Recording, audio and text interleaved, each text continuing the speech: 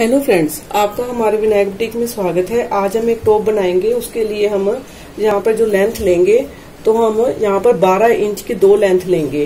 और उसकी चौड़ाई जो हम लेंगे हमारे पास जो चेस्ट का साइज़ है वो 32 इंच है। तो यहाँ पे हम 18 इंच चौड़ाई में हम दो लेंथ इसकी की जो चौड़ाई में हमने दो पीस काटे हैं बारह इंच की इनकी लंबाई है।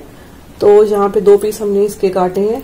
और बचे हुए पार्ट में से हमने ये दो पीस और काटे हैं। यहाँ पर जो इसकी चौड़ाई है वो छत्तीस इंच है और लंबाई में ये ग्यारह इंच है। ऐसे जो इसकी चौड़ाई है छत्तीस इंच और लंबाई में ये ऐसे करके ग्यारह इंच है। ये दो पीस मैंने इसमें से ये काटे हैं।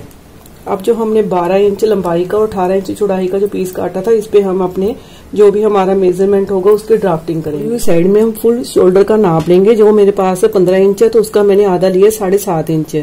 तो साढ़े सात इंच पे निशान लगाया है और यहाँ से हम एक इंच नीचे डाउन लेंगे और जहाँ से जो हमने चौड़ाई रखी गले की, वो हम तीन इंच रखेंगे। तीन इंच रखने के बाद जहाँ से हमने एक इंच डाउन करा इसके नीचे से जहाँ से हम साढ़े सात इंच आर्म होल के लिए लेंगे। तो जहाँ से हम आर्म होल के लेके यहाँ पे इसकी शेप दे देंगे। जो हमारी चौड़ाई तीन इंच है वहाँ से हम बैक गले के लिए एक इंच की गुलाई देंगे। अब यहाँ पे जो हमारा निशान लगे इन पे हम इसकी कटिंग कर यहाँ पर हमने फ्रंट का पीस निकाल लिया है और जहाँ पे हम एक इंच अंदर की तरफ़ लेते हुए यहाँ पे आर्म होल की शेप देंगे। फ्रंट आर्म होल की शेप देंगे और चौड़ाई में तीन इंच जो हमने नेक रखा है उसमें हम यहाँ से साढ़े छह इंच का निशान लगाएँगे जो हमारा फ्रंट नेक होगा। और साढ़े चार इंच पे हम गुलाई देते हुए और दो इंच के नीचे हम वी की शेप देंगे। अब जो हमने ये निशान लगाए, इन निशानों पे अब हम इसकी कटिंग कर लेंगे और नेक जो हमारा होगा फ्यूजिंग पेपर पे नेक काट के हम इसके साथ जोड़ेंगे। बाजू की कटिंग करेंगे। बाजू की कटिंग करने के लिए यहाँ पर मैंने जो सत्रह इंच की दो लेंथ निकाल ले रखी है। इसको मैंने फोर फोल्ड कर लिया है। ऊपर से तीन इंच डाउन पे हम यहाँ पे सीधी लाइन लगाएँगे। और जहाँ से हम अपने जो हमारी बाजू की शेप होगी, उसकी हम यहाँ पे शेप देंगे। शेप देने के बाद फ्रंट नेक जो हम फ्रंट स्लीव की कटिंग करेंगे, वो हम इससे आधा इंच अंदर की तरफ़ करते हुए फ्रंट स्लीव की भी कटिंग कर लेंगे। यहाँ पर मैंने बाजू की कटिंग कर ली है। जैसे मैंने आपको मेज़रमेंट बताया, उसी हिसाब से मैं सारे में कटिंग कर रही हूँ। तो यहाँ पे हमारे बाजू की कटिंग होगी और यहाँ पे मैंने नेक भी अपना फ्यूजिंग पेपर के साथ फ्रंट नेक की हमने यहाँ पे बना लिया है। ये नेक बनने के बाद अब जो हमारे पास इसके नीचे लगाने के लिए पार्ट है, वो लेंगे। तो जो हमने दो लेंथ काटी थी, ग्यारह इंच की तो ये हमारे पास वो लेंथ है तो इसको हम यहाँ पे चुन्नट डालते हुए सारे में यहाँ पे इसको, यहाँ ऐसे पूरे में डाल लेंगे यहाँ तक यहाँ तक इसमें चुनर डाल लेंगे। दोनों पार्ट पे सेम ऐसे हम चुनर डाल लेंगे ये मैंने यहाँ पर बैक पार्ट पे चुनर डाल ली है। ऐसे जैसे हमने ये बैक पार्ट पे डाली है सेम ऐसे ही मैं फ्रंट पे भी चुनट ऐसे ही डाल लूँगी। नीचे से इसमें चुनर डालने के बाद मैंने इसके शोल्डर भी आपस में जोड़ लिए। अब हम इसके बाजू की स्टिचिंग करेंगे यहाँ पर बाजू को भी मैं नीचे से फोल्ड कर लिया है। यहाँ से भी मैंने इसके घेरे को नीचे से फोल्ड कर लिया है। अब हम इसकी बाजू इसके साथ अटैच करेंगे। अभी मैंने बाजू इसके साथ स्टिच कर लिए जैसे हमारा टॉप मैंने यहाँ पे स्टिच कर लिया। अभी साइडें हमने इसने इसकी नहीं जोड़ी।